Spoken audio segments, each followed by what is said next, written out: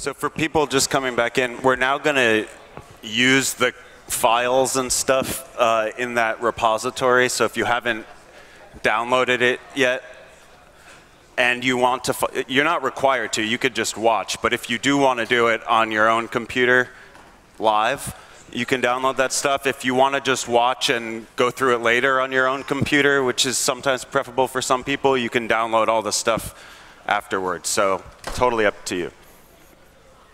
Let me uh, zoom in a little bit. Uh, uh,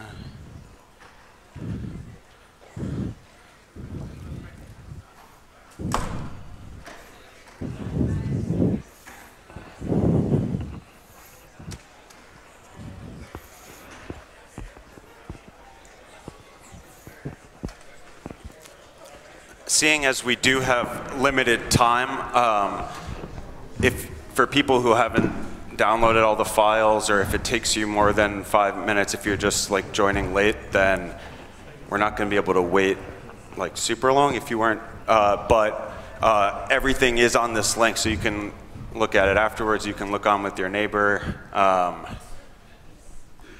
do most people have this stuff? There should be um, trying to simultaneously can I move off of the link to a different screen? Um, oh, I put the slides um, in the repository, I think, so you could click on this link too. Um, or I, I, I remembered to upload them during the break. um, but, so what I wanted to do now is in that repository, if you've downloaded it onto your computer, uh, there should be, um, you're not going to have all of this stuff, but there should be a, a, project file here that if you're using RStudio, which I recommend you can use, if you're just using regular R, you can still open the markdown file, but um, but I'm going to use the RStudio project. And then there's this pest control example file. Um, I'm going to say a little bit about this before. There's a lot of st stuff in this file. I commented out the, you'll see I commented out the entire second half. Um, just to say that like I we're probably not even going to get through the part that I uh, left uncommented out. But there's also a lot of Stan programs in the folder called Stan programs, and they probably look intimidating and stuff like that. We're going to work on the simplest one that the, all the code isn't even there because we're going to, I didn't give you the answer yet. But I gave you all the rest of the stuff so that later you really can uncomment out the second half of the document and run it on your own and follow it through to conclusion but um, a lot of the files in there might not make sense until after you've done the hierarchical models part. But I wanted you to be able to eventually, because um, this is like a little case study that Lauren and I and Rob Trangucci, one of the other Stan developers, put together. Um, so I wanted you to be able to go through the whole thing at some point, but in this workshop we're just going to cover the, the beginning of it. But all the stuff is in there for those of you who want to venture forward. And so, actually, yep. before I do the, code, do you want to take just a second yeah. and explain the setup of the problem? Oh yeah, sure. Because you know that, right? Yeah, and I've got um, my cube. And um, so what so what we're going to do is we have a little example here where um, we're going to fit a very simple Poisson regression model, like not a hierarchical model. Um, and because uh, I wanted to show you a different kind of outcome variable than in the linear model. But all the code related to that uh, paper and the simulations in the slides that I showed you, there's a link in the slides to the, a GitHub repository where you can have all the code that was used to uh, make all those visualizations and fit the models that are later on in the slides. So you can, you can um, so I posted the slides. That link is um, on this slide. Oops. Down here. So all the code related to the first half of the talk is, is in there for those of you interested. Cool. I've got this. It's okay. Okay. Um, Uh, can everyone hear me? Yeah? Cool. So, so I'm going to let Lauren just set up the, tell you about the problem that we're going to work on. Yeah, so we, uh, we really wanted to give you a data set that we could share freely and you could kind of explore. So we, um, we and Rob uh, sort of created uh, an artificial data set. And so we were all in New York City. And uh, so we thought, well, you know, imagine you, you're a statistician and you've been called in to consult and uh, one of your clients is, is a, a, manager of a bunch of residential buildings. And, uh, and so the, the setup is that the manager is concerned that they're getting all these complaints for cockroaches and it's kind of undesirable, it makes their buildings look bad. And so previously there's kind of like established methods of how oh, no worries, um, of how to manage pests in, in New York City, but you know, there's this alternative method and of, of setting baits in the buildings and not in the, in, in the hallways of the buildings. There's sort of bait stations.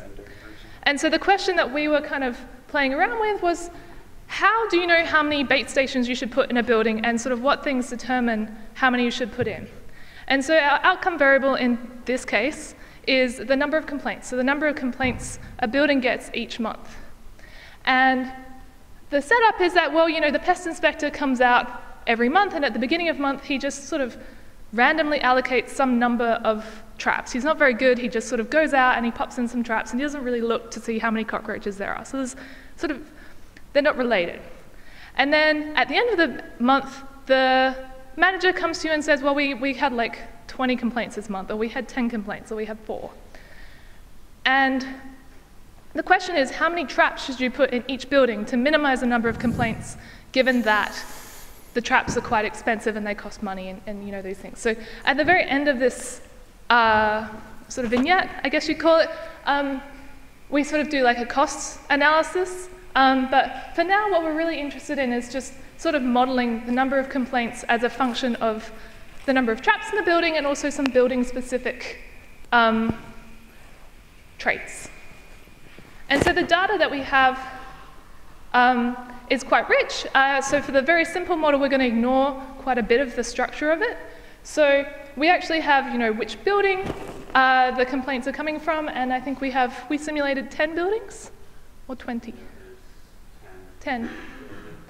Over, over 12 months. So we have sort of temporal data, and we also have clustered data. And so as you work through the uh, vignette, you sort of see that we start to incorporate that um, information in, but as a very first pass, as Jonah was talking about a network of models, we're going to do just a simple Poisson model um, where we're looking at the number of complaints as a function of number of traps in the building. Are you going to put other variables in? If we have time, we'll, we'll incorporate other things like whether they have a live-in super, so like a live-in uh, building manager kind of you know, the average rent, the average age of the building, um, all of these other sort of rich factors that we can include. So if you open your data set, and uh, just by loading it in, and uh, just take a look to, you know, like, um, you can sort of see that we have all these variables. And so the ones that are really important for us today is the number of traps, um, the number of complaints, and, uh, and that's pretty much it, actually. Those are the two big ones. yeah, and, and sort of as, as you work through, we start to inc include more and more of this information. Right. Yeah, later on in the document, it starts adding in how do we build a model that it will include all the different types of information that we have. Yeah. So I don't know, do you want to take over and do the... Do you want me to do the code? Yeah, do you want me to like, I don't mind. You sure? Okay. Yeah. Um, okay. So this is what the like document at the end, like rendered version would look like, but uh, in the file here, it's just kind of inline here. Um, for those of you who are following along, uh, I'm just gonna like actually load these packages here. Um, and so there's a lot of text in this file, and that's mostly so that when you look at it afterwards, like you'll remember what the context is. You don't need to be like reading all the paragraphs in depth right now. It's more just so that uh, things that we say out loud, you can remember them later without having to take notes. Um, okay. So like Lauren said, we have this, this issue where we're trying to figure out how many cockroach traps to set in these buildings. And we're interested in this trade-off between having to spend more on solving the problem versus, uh, right, solving the problem with some amount of cost, and we want to try to find the right balance uh, between how much resources we put in there and uh, how much we, uh, you know, allow the, the problem to persist based on this decision problem.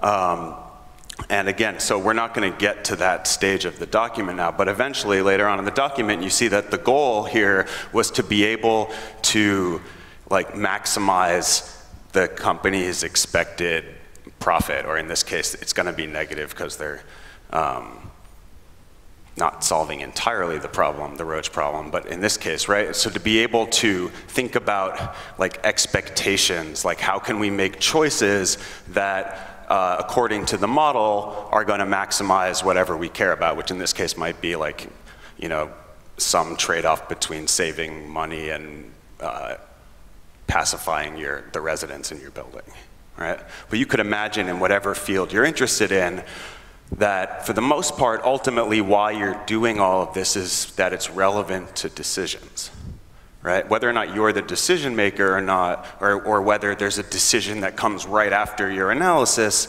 um, most of what gets done is, is going to in, inform some sort of decision making, right? And so what the, towards the end of this document, you see how can we sort of use these models to think about decision making. But the first step to doing there is to figure out how do you start coding these models. And so um, what I want to do now is code up like the simplest model we could think of for this data which will not be a hierarchical model, uh, which will just be a simple model for the number of complaints as a function of the number of traps, even though we have much more information on that. But that's what we'll start, so that we'll introduce Stan coding. Uh, for those of you who want to follow along, I'm gonna like, I'm gonna do some live coding here. I'm gonna take that chance.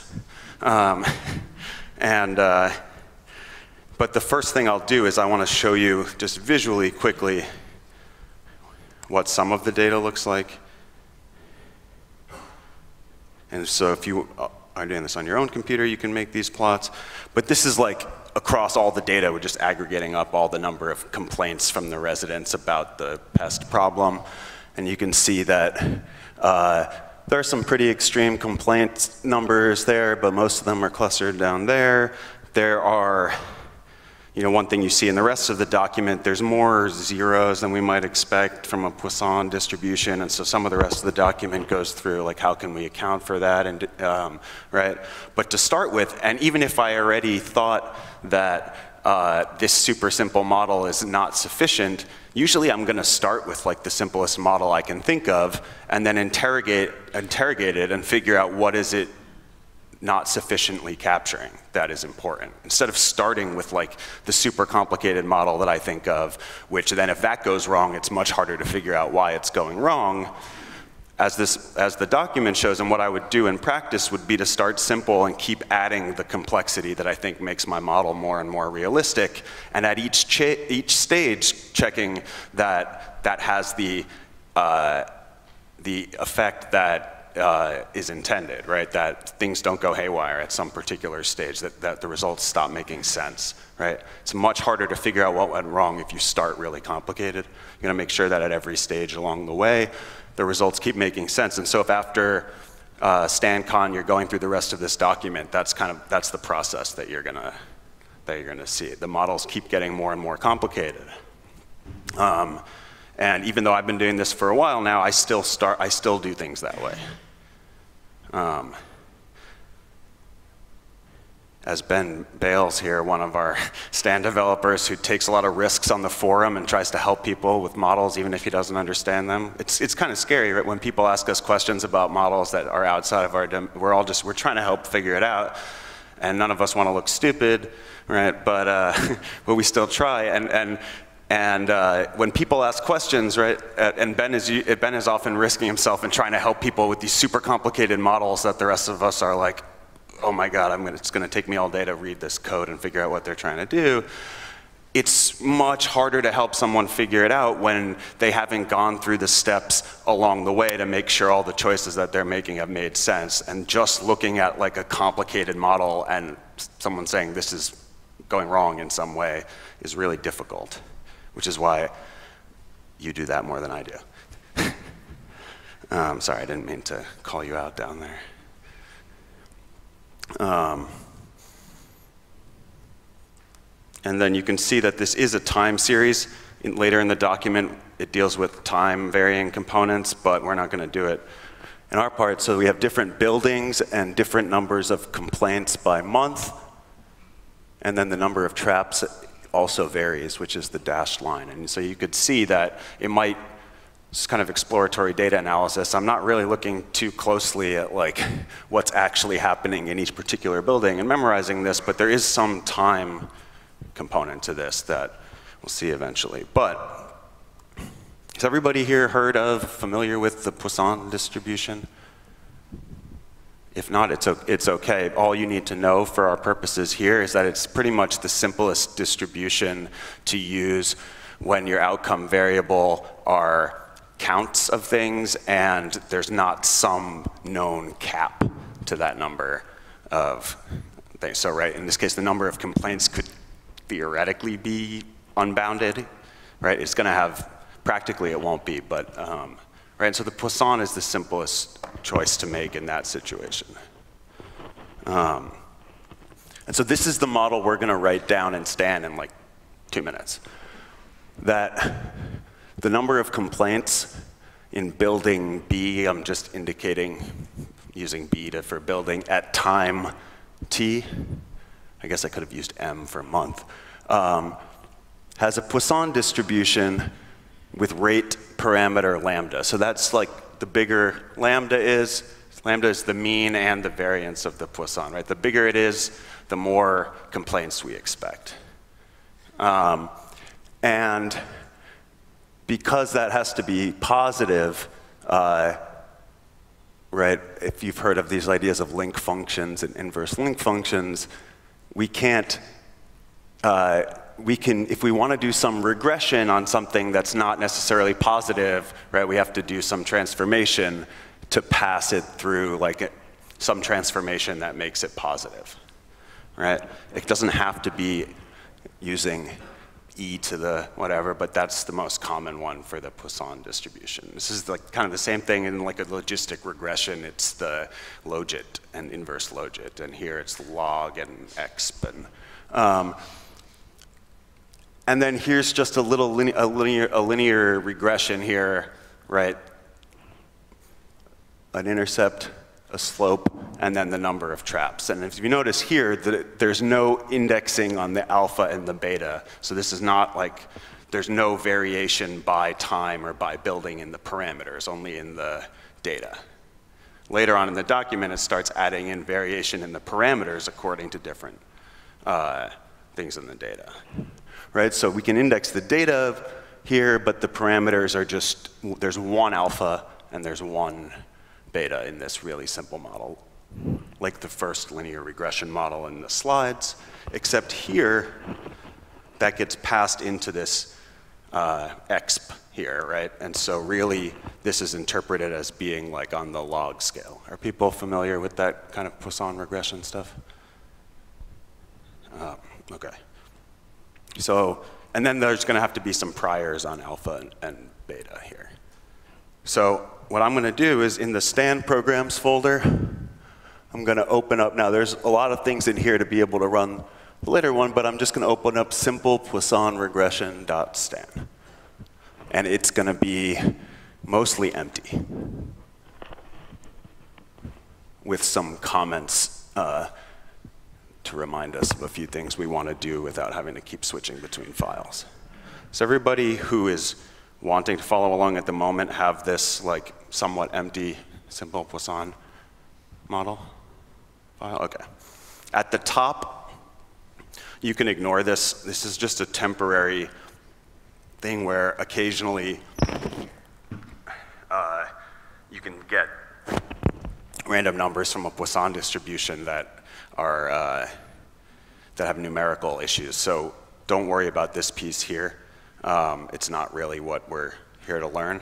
Um, I just put it here so that we can use it and avoid some problems, but it's not really relevant to learning uh, Stan, and it shouldn't be necessary as of like the next release anyway. Um, it just helps us avoid some numerical problems if we get super large um, values. The important thing that I want to look at here is that there's a structure to this document already, right? Now, we would have to type this out normally. I put this here, um, I put this little template here.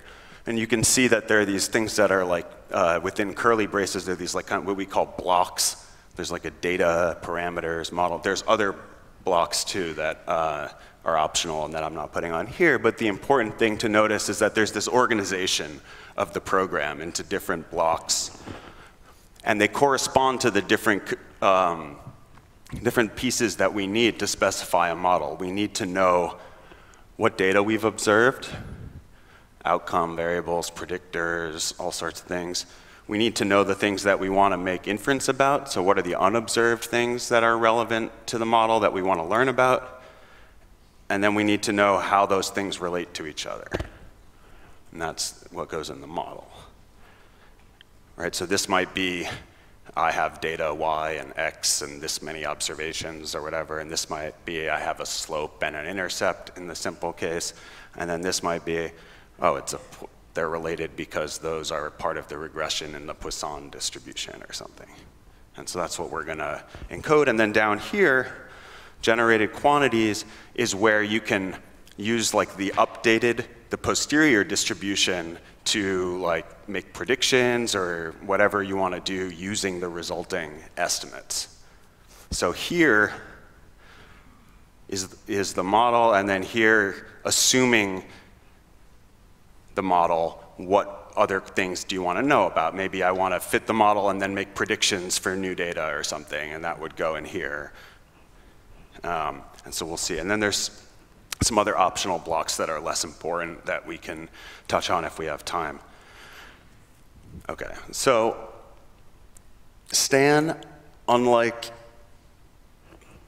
some other languages like R and Python, but like languages like C++, we have to use variable types explicitly.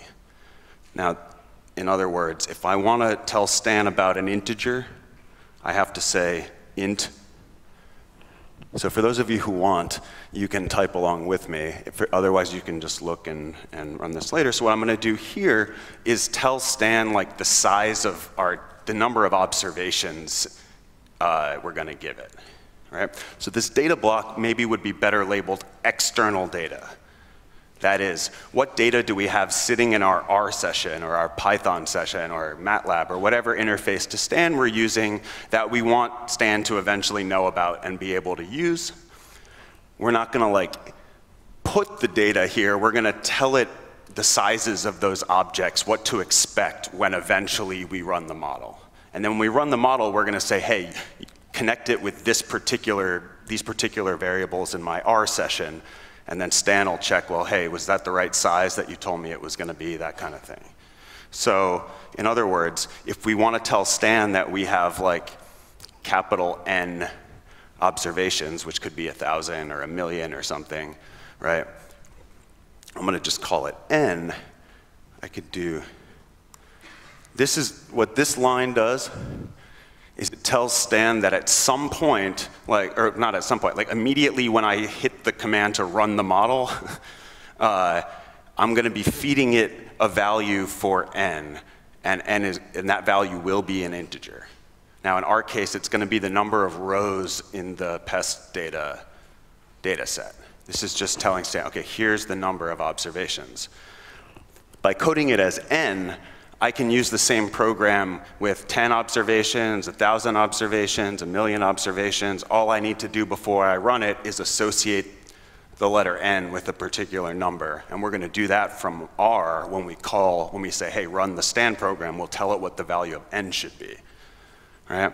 And so this is a way, now I don't have to call it n. I could have called it anything. I could have called it tomato or something. It doesn't matter. It's just eventually you need to associate with that some value from R or Python. And so in our case, eventually we'll tell Stan that n is going to equal the number of rows in pest data. So eventually, in our case, n will be 120, but it could be something else. Does that make sense? All we're telling Stan is be on the lookout for an n that's an integer.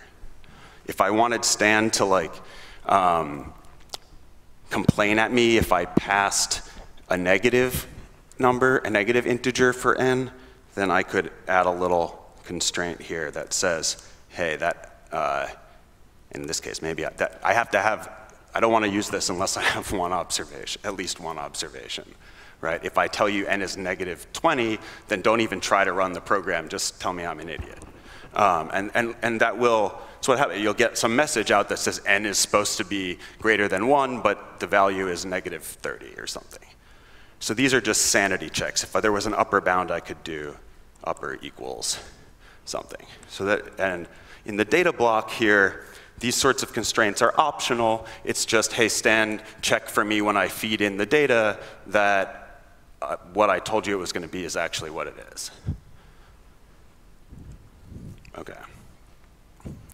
Now, the reason I put this as the first line is because the next thing I want to do is tell it that I have like data that has n observations in it, that I have some variables that I'm going to give it n values of. And before I could do that, I needed to tell it I needed to give it n. So in order for me to declare something of size n, first I need to declare n.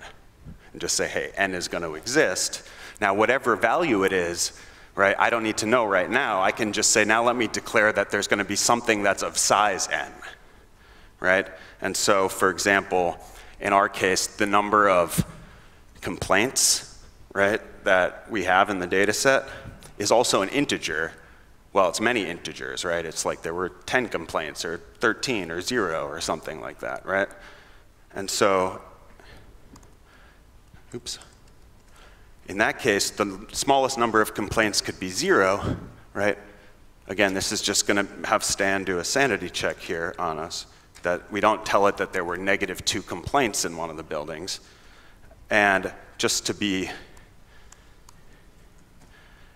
right? And then I'm going to call the variable complaints, but we could be general and call it y or something for the outcome variable or whatever. And then I'm going to say, okay, there's n of them.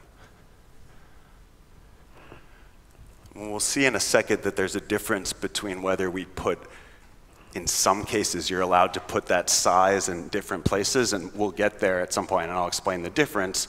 But for now, this is how I tell Stan that I'm going to give it an array of integers, and there's going to be n of those integers in it. Now, in other words, this is sitting in R. It's one of the columns of that data set, right? The, pest, the complaints column. And then before we run it, we're going to use the command from R to tell to run the model. We'll say, okay, the complaints variable corresponds to that column of the data set. But right now, we're kind of abstracting away from the actual data and saying, well, how do we just express the probability model? Is there a question on this side? So, no? You good? Okay, cool.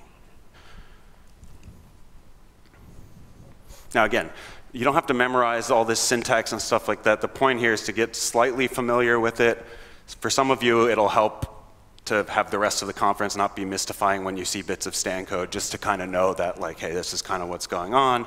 Um, but uh, there's, you know, I don't ever write a Stan program without some sort of syntax mistake. So, like, you're not going to learn how to write a perfect Stan program today, but I'll show you how do you figure out what mistake you made.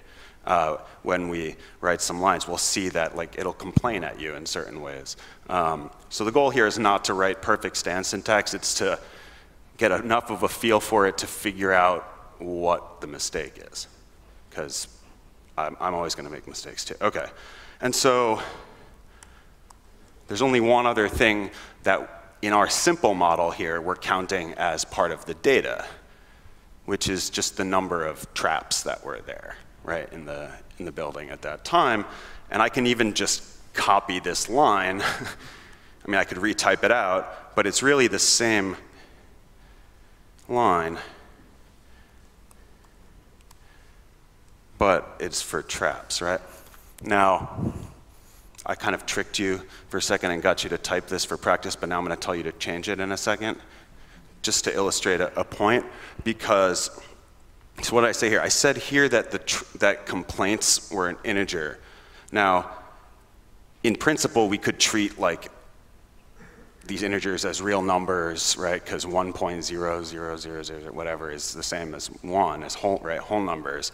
But when we go to use the Poisson distribution in Stan, it knows, okay, this is defined for integers, right, for counts, and it will complain at you if you didn't declare them as integers, if you declared them as like real numbers or something, right? And so that's why like we have to declare the complaints as an integer we have more flexibility with traps here because it's just going as an input to the distribution, right?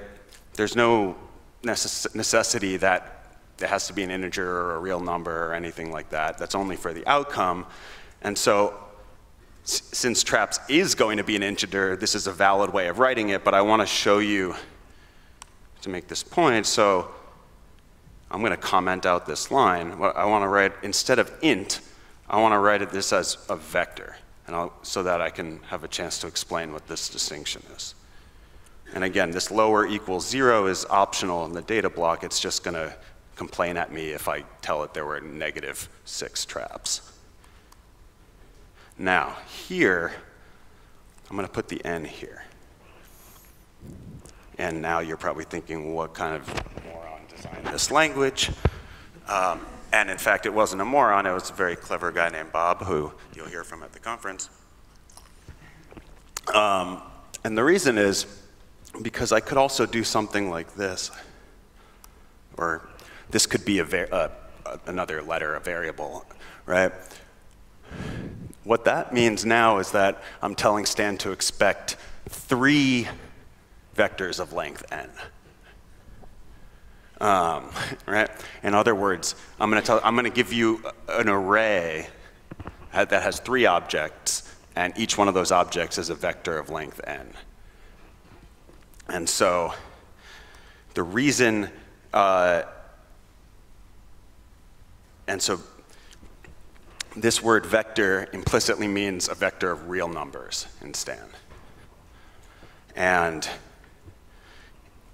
that's because we use the term vector, matrix, real uh, to define real numbers because those are what the, uh, you can do linear, linear algebra with, right? So like if you call something a vector in Stan and something else a matrix in Stan, then you're going to be able to do traditional vector matrix operation, linear algebra operations. Um, for, for things that are integer types, not just whole numbers, but like actual, the computer is classifying them as an integer instead of like a, just a whole number. Um, then we have to use this alternative syntax, which is just an array. We can't do linear algebra with just like a container of integers unless we declare them as real numbers that just happen to be whole numbers. And this is a little bit of a subtle distinction here, but it's one of the biggest points of confusions I, I get when teaching Stan is just what's the difference between an array and a vector in Stan. This is the syntax for an array of integers, and this is the syntax for a vector uh, of the same length. I can do linear algebra with this. I can't do it with this. This is, think of an array as just a box, a generic container. Um, I can't multiply a container by a matrix, right? but I might be able to multiply the component, like the things that are stored in that container by a matrix, right? So if I had here, this is now an array that contains three different vectors of length n, I could multiply each of those vectors by some matrix, but I can't multiply like a container by a matrix, right? So just that's the way to think of an array as just some generic container that it can contain matrices, it can contain vectors, it can contain integers. It's just a generic container. It's useful for storing complicated data structures. But if you want to multiply things like you're used to, like vectors times matrices, things like that, then you have to use, uh, declare them as a vector or a matrix or something like that. Um, that's basically all you need to know about that distinction. Now, if you ever run into situations where you're fitting models and you wonder if one way or another might be more efficient, then you're kind of already at an advanced stage. Uh, could you say what is the number of bytes in the real data type? Uh, what is the actual value of n? Uh, so the data type is real of this Oh. vector, as you said, and what, uh, how many bytes are? Uh, it's a good Is question. 32 or 64? Do you, oh, we're, we're uh, 64? What, Ben, do you know? How many bytes? The vector. Yeah. Okay, we can get you the answer to that. Ask uh, Bob. It's, yeah, it's all in doubles, uh, Double. double precision. Okay, double. Um, definitely. Okay, thanks. Um, then there's some other stuff tacked on there that Bob can answer. But yeah, we're doing everything in double precision, and that's actually important uh, for the algorithms underneath. Um, okay, that's, that, that is the complete data block because this simple model is using nothing else, right? Um, So Jonah, why would you want to use int, uh, like containers of ints rather than vectors? Like what are Here? Yeah, why would you want to? Well, here's, like I said, it was because the Poisson distribution will complain at us if we use an outcome that's not actually declared as an integer, because the distribution knows, hey, I'm only allowed to be used with uh, non-negative integers. Um, whereas for traps, uh, it's not the outcome variable, and there's no necessary thing that like predictors have to be non-negative integers in a Poisson or something like that. So I have more freedom with how I could have declared traps as an integer. Um, I have a little more freedom there than I do with the outcome variable. Other questions at this stage? In the back, can you yell or do you want the box? But will the recording pick it up? I'll repeat it. Yeah. Uh, uh, it has to be checked at runtime. Uh, so the question is, is the lower bound thing checked at compile time or runtime? So you can compile this without ever telling it what data you're going to use. Um, only once you associate it with the data set and run it can it check like, oh, you actually gave me the right kind of data. So like it won't know that n has this value or satisfies this when it's compiled, but it'll know the minute I tell it what n is. Good question. All right. The, the nice thing about this is the parameters block is basically is very similar to the data block, except we're just declaring the things that we don't know, but that we want to know, right? In other words, in our case, we just have that um, alpha and beta, right? So just like we told Stan, like what type of variable complaints is and what size it is, we're going to tell it what type uh, the alpha and the beta are and what size those are. And in this case, it's easy because they're just both single real numbers. Um, but you can use the more complicated data structures uh, if you have more complicated model. You can have arrays of parameter vectors. You can have arrays of, of covariance matrices that are parameterized, right?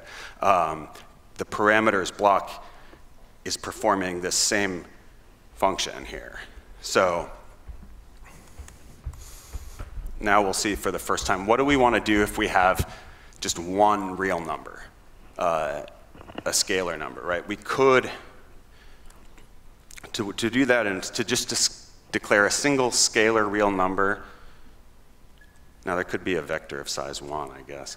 Uh, but we can also just do this. We say, hey, that's, I just have a real number, alpha right? But because I put this in the parameters block, I'm saying, but I don't know what that value is and don't expect me to give it to you, right? Like, it should expect me to tell it what these values are, but it's not going to expect me to tell it what's here. Here's I'm telling it the things that I want to learn about. And so, any brave soul know what the next line is going to be? I'm not, I'm, I'm totally serious. Yeah. it's the same thing, but for beta, right? Yeah. Uh, now, one thing that we don't have to do here that we would if we were fitting a linear regression, right? If we were fitting a linear regression, we'd have some like sigma parameter, right? And so I just want to take a second because none, neither of these parameters is constrained, right? These can just be any real number. Um, if we had a parameter like sigma that, you know, by definition, you know, can't, is, is not negative, right? A stand, you can't have a negative standard deviation, then we would have to tell Stan that using that lower and upper syntax. And so just pretend for a second that in our model here, we knew logically not, not that our prior was that it had to be positive, but like there was some like logical reason, like standard deviations can't be negative, that kind of thing. Um, and we wanted to say that beta has to be positive. Now in this case I wouldn't do this, it doesn't have to be. Um, then we would use that same syntax, but it wouldn't be optional anymore. It wouldn't just be a sanity check. And that's why I wanted to make this point here the reason that it's not optional here is that the, the bounds here are defining the valid values of the parameters that you are performing inference on, right? If you want to, uh, so this is essentially telling Stan what is the possible range of like legitimate values for all of these quantities. For the data, it doesn't matter as much because you're just passing it in. It's fixed, there's numbers, they're numbers. But here we have to say, we're gonna learn these, so we have to say, well, this is only allowed to be in this range. Like if you, if you wanna learn a correlation, then Stan doesn't know that whatever name you give it represents a correlation, uh, you're just calling it whatever you want, but you would put lower equals negative one, upper equals one. Right? You're defining like a, a correlation is bounded between negative one and one by definition, and so we would have to encode that there if we wanted to get valid estimates for a correlation. So that's why it's not uh, optional in the parameters block. Um, and in fact, one thing that often goes wrong is you'll forget to put a constraint. If you have a linear regression, you'll forget to put lower equals zero on sigma. And thankfully, usually what happens is you get a lot of warnings telling you, hey, sigma is negative, uh, or sorry, that you're getting um, a negative uh, standard deviation parameter to the normal distribution because Stan's normal distribution function will complain. Um, right? But in our case, these are allowed to be any real numbers, but we're implicitly defining the parameter space, is what we would call it, right? What are the boundaries of the parameter space? So is that clear why it, it's not optional in this case, in the parameters block? Okay. This is a reminder to me. Um, and to you now. Um, okay. What time is it? 11:15. Okay, I think we're gonna get through this and then fit the model and be good. Okay, so the purpose of the model block in a Stan program, like I was saying before, is to express the relationship between the data block and the parameters block. Um, there are optional blocks where you can transform data and transform parameters, and those would be included too. But the idea here is what is the statistical model that is relating the observed and the unobserved quantities in our model, right? So another word for data could have been observed, and for parameters, unobserved, right? And in a Bayesian context, that's exactly what data and parameters mean. Missing data are parameters because they're unobserved. Um, and uh, so really, we might talk about data and parameters, but you can also just think of this as observed and unobserved. Anything that you don't know the value of and you want to, or you want to, sorry, you're not going to know it exactly, but you want to estimate it, goes in the parameters block. Whether or not it's a slope or a missing data point or something. Anything you want to perform inference on. And anything that you're going to condition on, as in, I want to use this information and, and learn from it to learn these other things, that will go in the data block.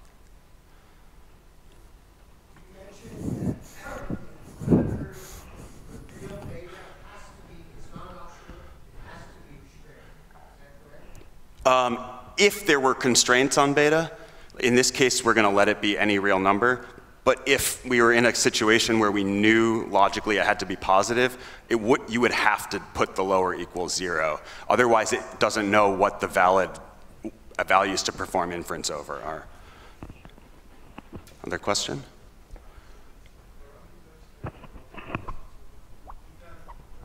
Uh-huh. Yep. And so the question is, can they be hidden variables or, yeah, anything that is unobserved, so any sort of latent variable stuff, any, anything that is, that you're not going to tell it what the value is, right? Goes in the parameters block, which is why it's a little bit of a miss. It should really say like unobserved or something.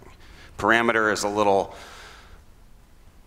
strict in that sense, I guess, but there's really no distinction between between those things from the, in the Bayesian treatment. It's, it's anything we have uncertainty, we're going to set uncertainty about, and anything we're going to treat as known. And that's the, the distinction that's relevant here. Um,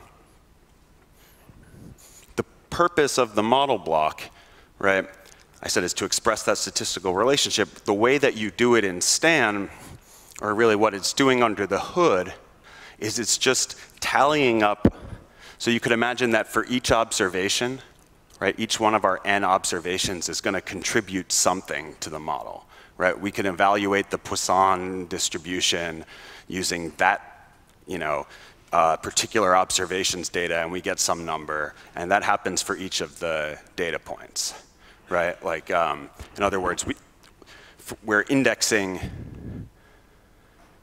here, right? We could have uh, for each building at each time point, right, we're going to get, uh, we're going to evaluate, we're going to have this, right? This, we're saying this is the model for all the observations. It's not that uh, some of them are not Poisson or something like that, right? So, in, so each one of the, in our case, 120 observations is going to contribute something to the total, uh, well, to the likelihood, right? And then we'll also have contributions from the prior, and together that's like our whole model, right? In other words, we can, if you remember back in my slide, right, and in, in Bayes' rule, mul you multiply the likelihood times the prior, but each observation has a contribution to that likelihood. Um, and so if we then think here, so the model block essentially, you could do each observation one at a time, you could do them all, all at once in a vectorized fashion. It doesn't matter as long as by the end of the model block we've arrived at the equivalent result. You could write out the math by hand instead of using named distributions that we have in Stan, and by hand I mean typing it into the program.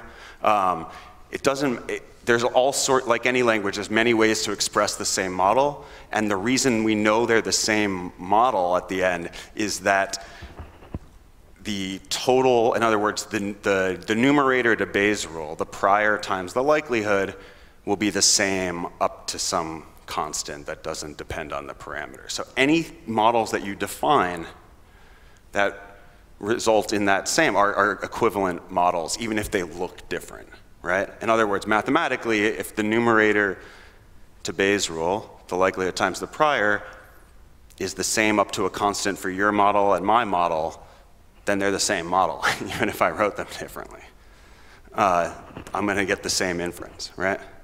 Um, and so the so so you can see you'll see lots of Stan programs written in different ways that are specifying the same model because they result at the end of the model block in equivalent calculations. Um, so the way I show you to write this is not necessarily the only way you'll see somebody write a Poisson regression in Stan because it's a language like others. There's many ways to do it. Um, And so let's, we'll do the priors first. So these aren't, I'm not going to be, you'll hear lots about over the next few days in the conference, how do you think about choosing priors for different types of problems. So in order to get through this code a little quicker, we'll, we'll make some simplifying assumptions here. Um, right, so what is alpha? Alpha is the intercept, which means it's, right, when the number of traps is zero, uh, then alpha is what's going into the, well, into the Poisson or the exp and then into the Poisson. And so if there's no traps, we would expect like a positive number of complaints, right? Or at least maybe more complaints than if there were traps right? And so maybe I think that a, a, a, reasonable value is to center a prior on alpha uh, at some, you know, smallish but not tiny number of, of complaints, saying that, uh, like, you know, as a baseline, if we didn't set any traps, how many complaints would we expect to get or something like that? Um, and so I'm just going to use normal distributions here. Again, you'll see over the next few days why you might use different distributions for different things, but I do want to get through this example before noon. So let's say that, let's say that we want to say, okay, we'll expect, sorry, go ahead. You could use it, well, a log normal would mean it has to be positive. Uh, but it doesn't, it doesn't logically have to be possible. It's overwhelmingly positive. It's overwhelmingly likely it's going to be positive, right? In other words, some building might have some weird thing going on. Like I can't tell it that the reason I would rule, when I rule out that something's negative, it's because it's impossible for it to be negative.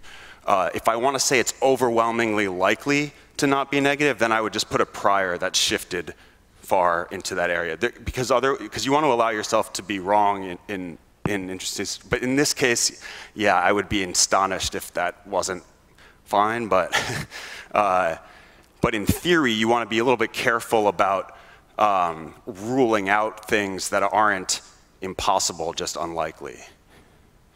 Because um, you, you don't want to, right? If anything that you put zero probability on in the prior will still have zero in the posterior.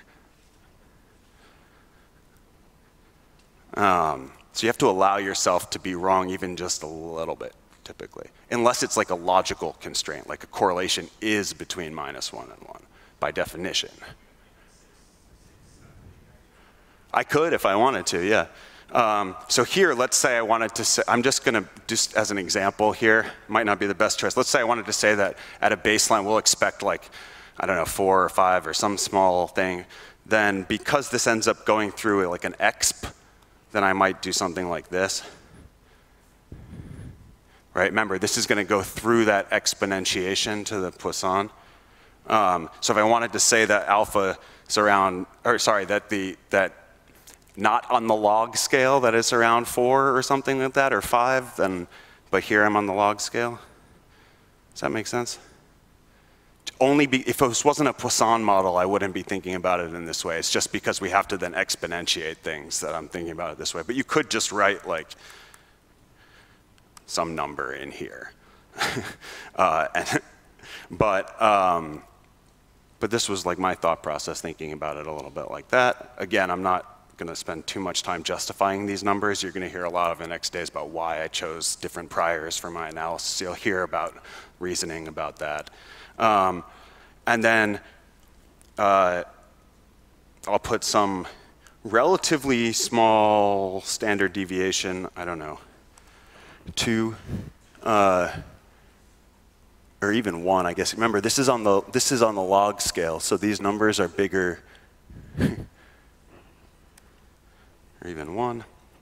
Again, this is actually only somewhat weakly informative. So this is, uh, yeah, for here. Uh, so what, yeah, you're right. So I'm just showing you an example of something you could do here. This is not making a super strong assumption that it's positive. It's just saying it's more likely to be positive than negative. Uh, if I wanted to go more extreme than that, which is probably justified, uh, yeah, I would pull it, even pull it further away or reduce the standard deviation. Um, yep. So this is kind of like weakly informative in that sense, it's like, right? As opposed to highly informative. But if, if highly informative prior is justified in your area, then I don't think you should be scared of it. I think you should try to bring the knowledge that you have to the table. Um, and then just for now, for purposes, so this is how you would say that it has a normal distribution. Um, for this purposes, let me see what I used in, uh, in the other one so that you have it. Uh, I use negative, okay.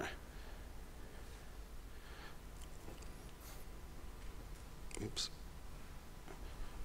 So for here, I'm just, this is just an example here. I said, okay, I'm gonna, my prior, I think I'm gonna pull beta a little bit negative in my prior because the number, as the number of traps increases, I would expect it to decrease the number of complaints about pests. Now, maybe that's a bad theory, that seems plausible to me, uh, but, and again, I'm not focusing too much on these particular numbers. You should really think, of, you should think about your priors in the context of your area of expertise. This is just showing how you might write something that says, I expect it to be slightly negative, but I might be wrong. Having a standard deviation of one would allow that to be positive with not tiny probability, right? Um, so this is just to show you, okay, how can I encode different types of beliefs here? Later, you'll see, well, I don't need to put numbers there. Those could be parameters that I want to learn about also, and that would be a hierarchical model. If I didn't specify that four or one or whatever, and I said, make inference on those for me also at a lower level of the model. Um, the last piece of the model block here then is the Poisson distribution part, right? And again, there's a lot of ways to do this. Um, the first thing I'll write, you don't have to type this yet. I'm going to type a few things that, that are correct, but that I'm not going to keep, which is a point. Um, we could do this in a loop. We have n of them, right? Capital N of them. So we could do a loop like this, and then inside that, say that each one of them has a Poisson distribution with rate uh, x of alpha plus beta times trap, right? So loop syntax in Stan is very similar to like most languages and R. We can, but I'll just, I'll show you the cleaner version, which is a, now I'll show you, well, two things. This one I'm not gonna keep either. Uh,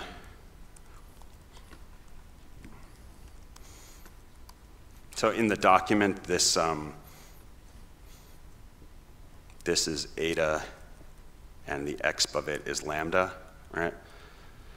Now, if you see the comment I wrote above a little bit, that Stan has these, some of these built-in functions that do, that, so this Poisson underscore log says, if I change it to this, then I can get rid of, oops, what the hell did I just do? Uh, if I change it to that, uh, then I can get rid of the x. What it's saying is Stan is saying, okay, it's okay if you feed me in the input on the log scale and I'll take it, I'll, I'll transform it for you internally. And that's often done more numerically stable, in a more numerically stable and efficient fashion when these sort of compound functions exist in Stan to use them.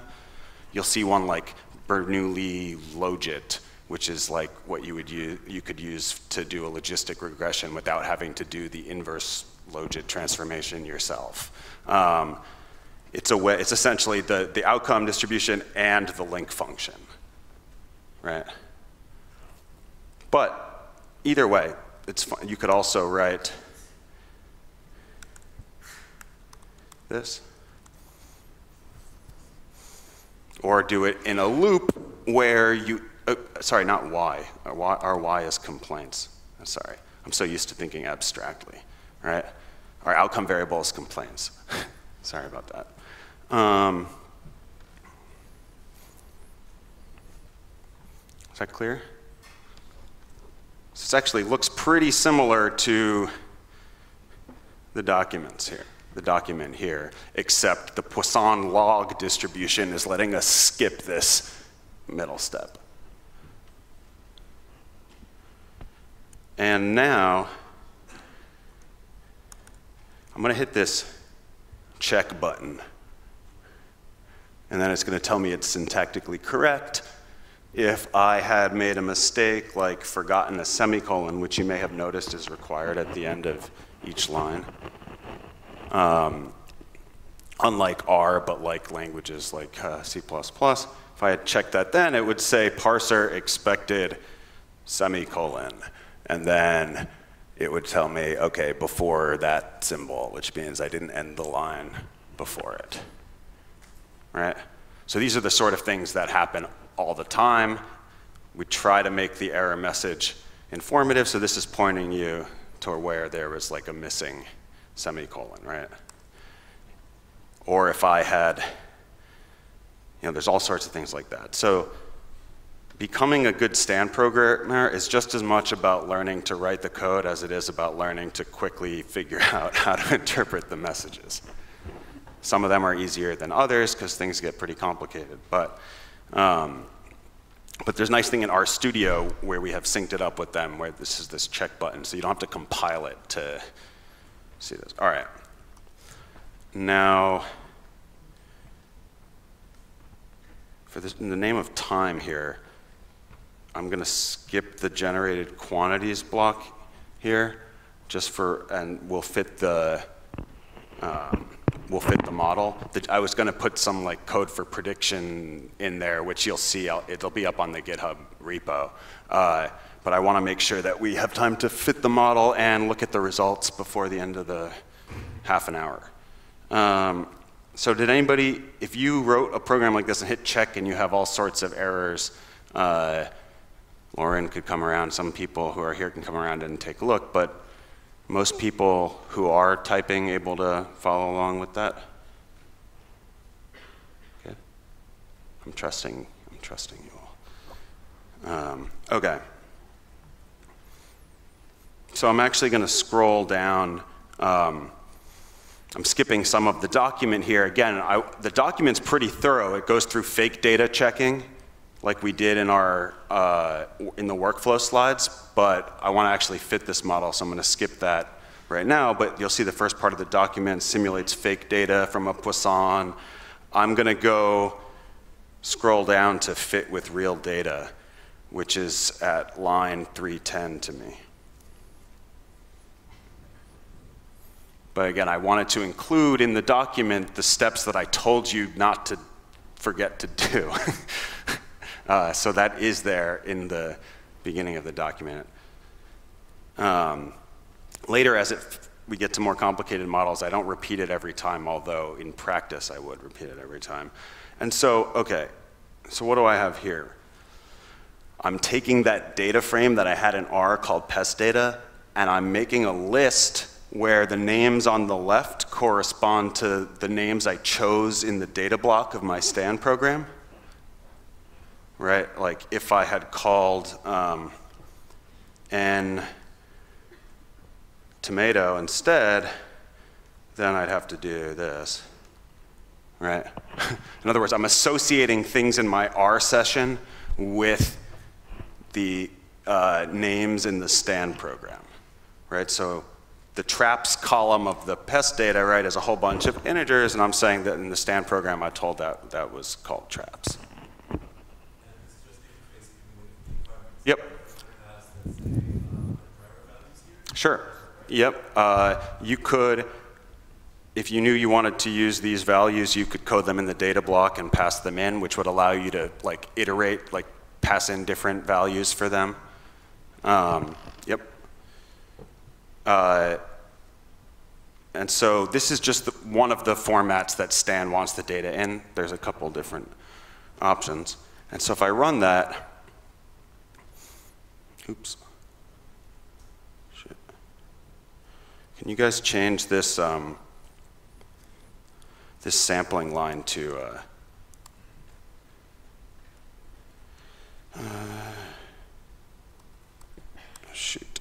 I skipped a line that I wanted to show you.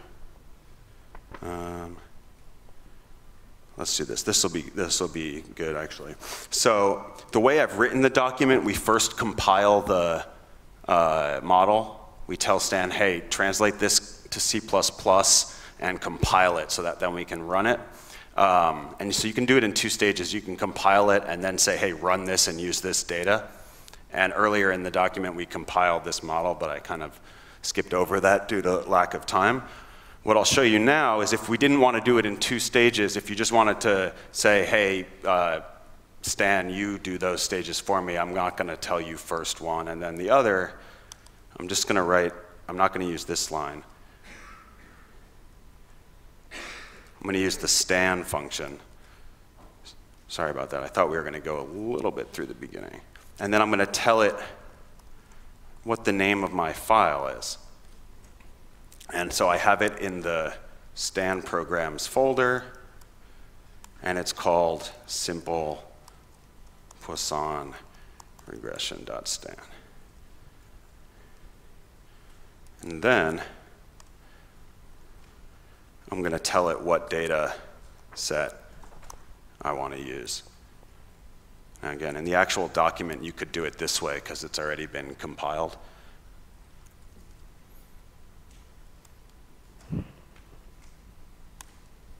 And then I'm going to like run that. And I'm going to leave it up there. What you'll see happening is nothing. And that's because uh, it's doing the compilation step right now, and that takes a little while. And for simple models, the amount of time it takes to compile it dwarfs the, it's gonna fit in like less than a second. Uh, for complicated models, the compilation time is more negligible because of how long it takes to run this really complicated model. Um, if we had compiled it earlier, we could have just run it instantaneously right now. Um, but see there, now you didn't even notice when it's transitioned between compiling and fitting it, right? Um, I'm gonna hang on a second, yep. Hang on. Is there a way to save the compiled version of the thing? To save a compiled, yes and no. Um, I'm trying to run different things. yeah, so there's, when you reload in a new session saved stuff, there are certain things that can't be done anymore.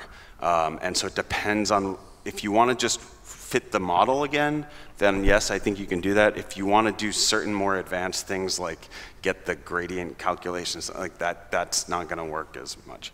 Um, that needs to be um, sitting in your like session compiled during the session that you're doing it in. But uh, but yeah, for uh, simpler cases, I think you should be able to do that. Um, all right, so what did we get out of here? So this object here, the fit, again, now that I fit it like that, in the actual document, I'll leave the, the first version because that'll make sense there. But what I'm going to do is scroll down to the, I already put some R code in here and I'm going to print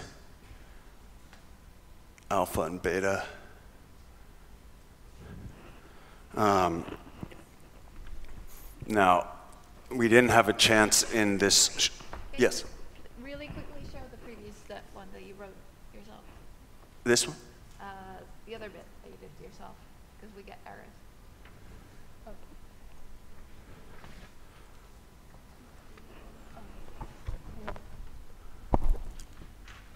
Do you see that, Lauren?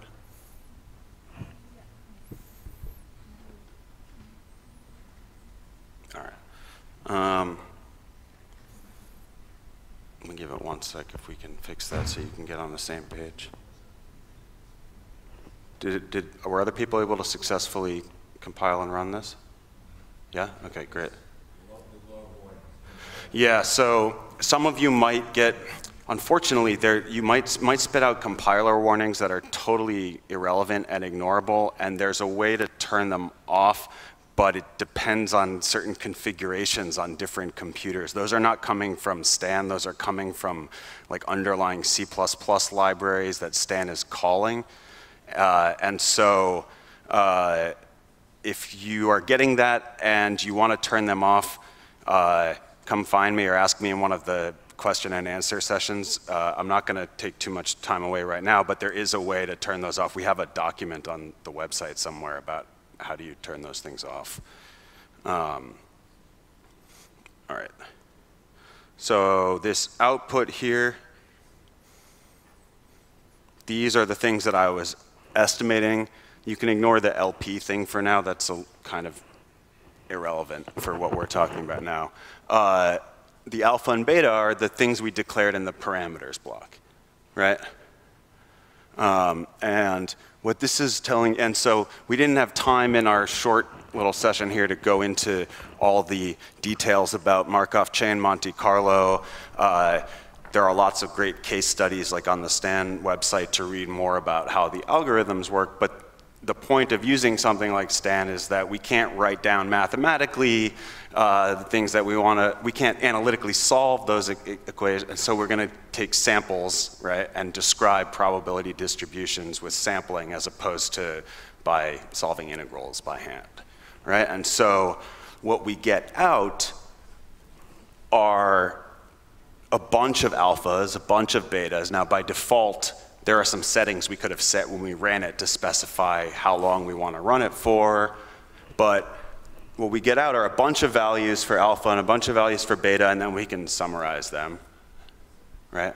And so these are summaries. In other words, the, our estimate of the posterior mean of alpha is about 2.6. For beta, it's about minus 0.2, right? These are quantiles like medians. And so these are summaries of the uh, posterior distribution, summaries of, of what we now think about alpha after updating based on the data we observed, right? So this quantity here, I'm not going to talk about right now. So a lot of these things you can read about in more detail on the Stan website. The important thing here is to notice is that we get results, estimates for everything we declared in the parameters block. We would also get them for anything we put in the generated quantities like predictions and things like that could get summarized here. Um, but to really get a sense for what, like where these summaries come from, the next line like plots the actual raw, these are the posterior distributions of alpha and beta, right? Um, so these are just you know histograms of all the samples that we got back from Stan, uh, and for whatever parameters we can get. So we, these are what you would call like the marginal posterior of alpha. In other words, the posterior of just alpha. Um, right, we could view the posterior of alpha and beta as like a scatter plot, like a joint posterior distribution. But here we're just looking at the alpha part and just at the beta part. And so those numerical summaries are, if you took the mean of all the points that made up this histogram, you'd get that mean column, right? And if you found the uh, median, you'd get what was in the median column. And so those are just summaries coming from the underlying draws that are going, that are coming out of here. And you'll see there's plenty of code uh, I'll show you, let, I'll do a little live time. What if we wanted to like look at the raw numbers? Um, there's code later on at demonstrating to do that in later uh, examples in the document, right? But you see how I, I pulled out this thing? I could have done this as an intermediate step here and done like, uh, Know, I'll call it posterior or something. And this command says, take out the samples and put them in a matrix. I could have said as, uh, there's other structures that you can get them in, but this is saying put them in a matrix. And so what does that matrix look like? I'm just going to look at the first few rows. It's really just values of alpha and values of beta, and the number of rows is the number of times we told Stan uh, to do it, which by default uh, would result in this having 4,000 rows. Um, but that's a parameter that you can set when you call Stan to run it. I mean, how far you need to long you need to run it depends on, uh, well, in some sense, if, it's, if you needed to get it to converge. But usually, if the model's working well, how long you run it for is just how precise do you need your, how, many, how, like how many decimal places do you need your estimates to, right? The longer you run it, you can estimate like wider intervals or something with more precision, and you can, right? So that's, that's really the only distinction. Once you know your model is working well, the longer you run it just gives you additional precision.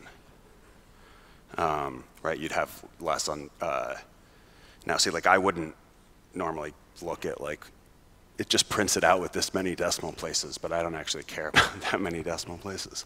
Uh, if I did, I'd run it a lot longer, and maybe even with this data set, I would never be justified in caring about that many decimal places, given how noisy this kind of data is. But if you're like an engineer or something like that, you have different kinds of data, uh, you might need more samples, right?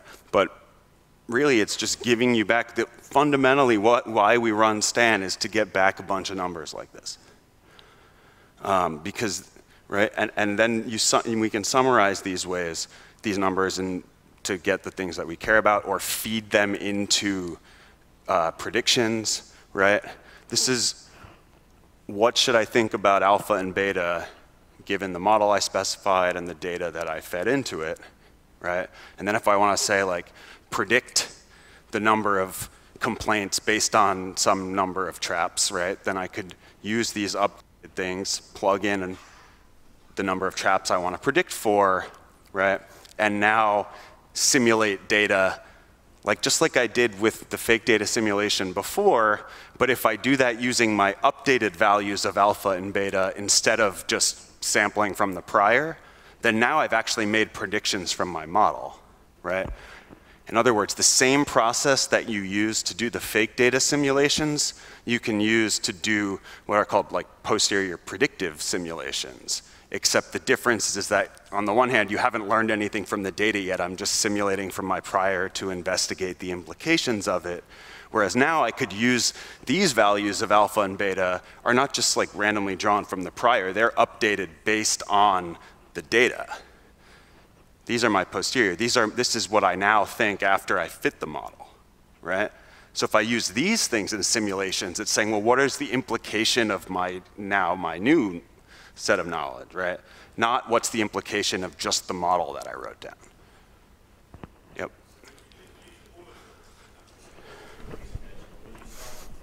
Depends on how computationally intensive what you're doing is in theory, there's no reason not to use all of them.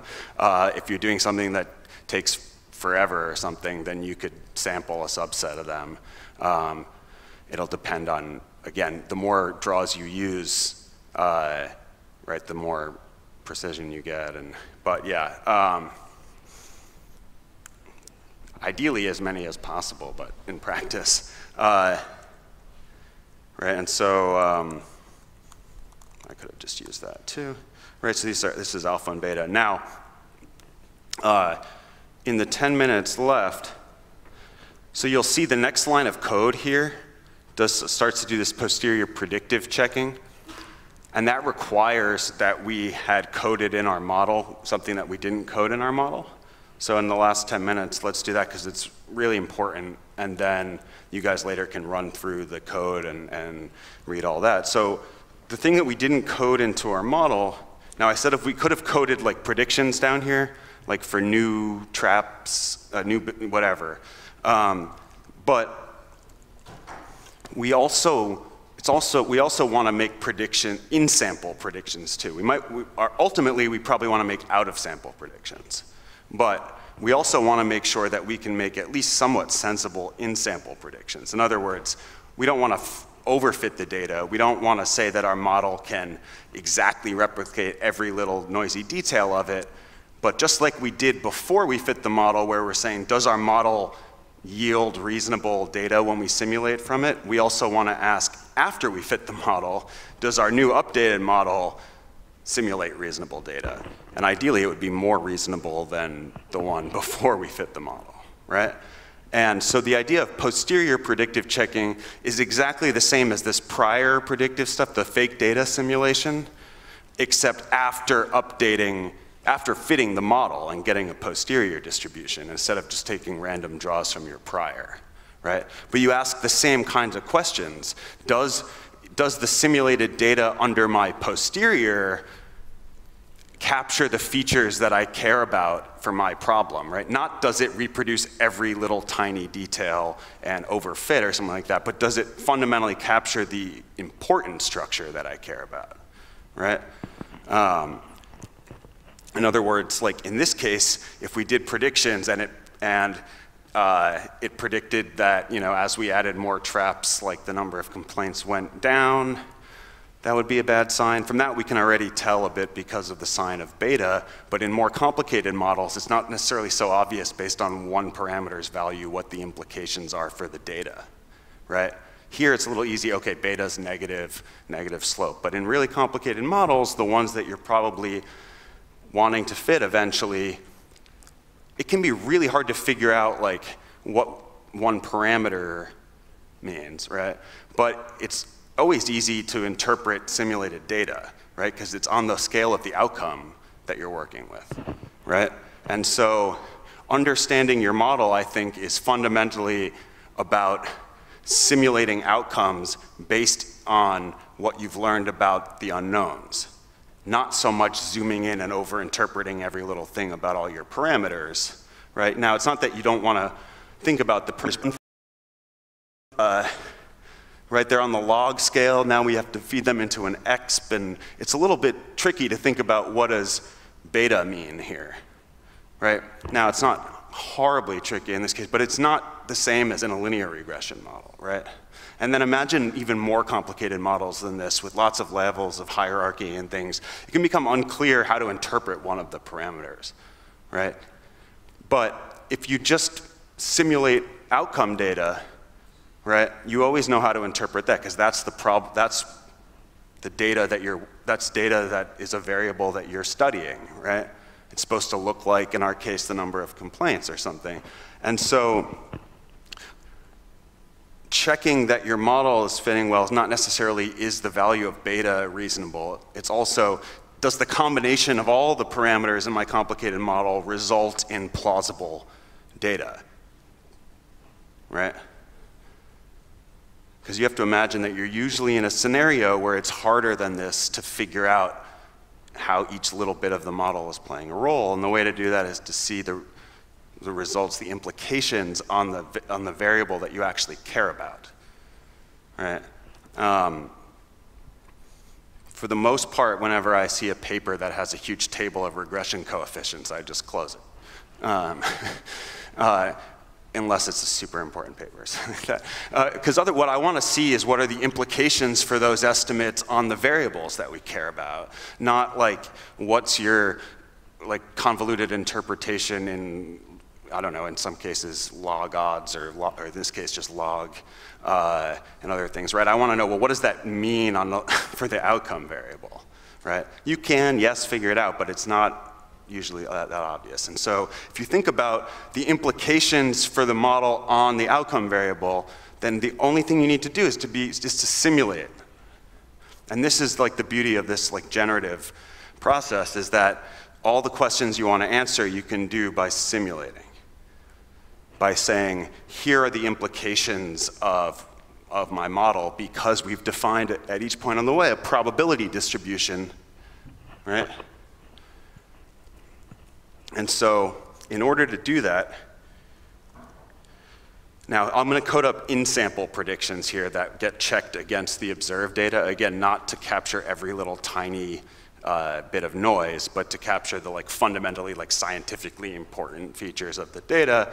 Um, but coding up out of sample predictions is exactly the same, except you would be passing in new data instead of the, the actual code looks exactly the same, right? And so keeping with the convention that I guess Andrew Gelman started for in-sample predictions, I'm going to use, now again, I'm, in my generated quantities block, I'm going to generate a variable that has the exact same size and structure and type as my outcome variable, but it's going to be simulated data. Um, and Andrew calls this like Y rep. Uh, or in this case, it could have been complaints rep. In other words, like replicated, which kind of means like in sample or something. I don't know.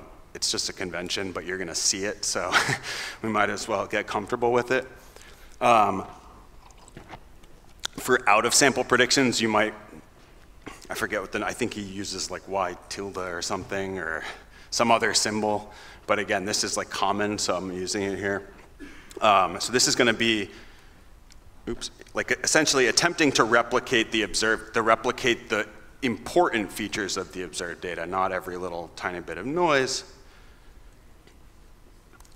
And then the coding of this is really easy because essentially we're going to say exactly what we said in the model block, but instead of just telling it the name of the distribution that we want it to have, in this case the Poisson distribution with log link, we're going to tell it to draw random numbers from that distribution.